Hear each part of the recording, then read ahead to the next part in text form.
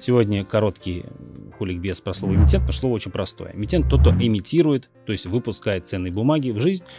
Самый главный эмитент у нас Центробанк, он эмитирует что? Рубль. Ну, Газпром имитирует акции и облигации Газпрома, Apple, соответственно, акции Apple, Минфин имитирует ОФЗ, это облигации федерального займа, а женщины имитируют оргазм.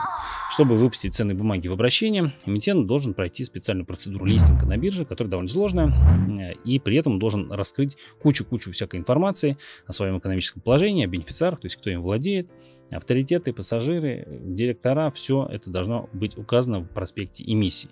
Придется, естественно, заплатить за аудит своей бухгалтерской отчетности всяким неприятным ребятам в блестящих костюмах, а также прочим дармоедов типа рейтинговых агентств, которые присвоят ценным бумагам эмитента какой-то рейтинг типа ААА, БББ, ПНХ. Эмитенту такая ерунда очень не нравится, раскошеливаться придется в любом случае, если хочется имитировать, изволь соответствовать.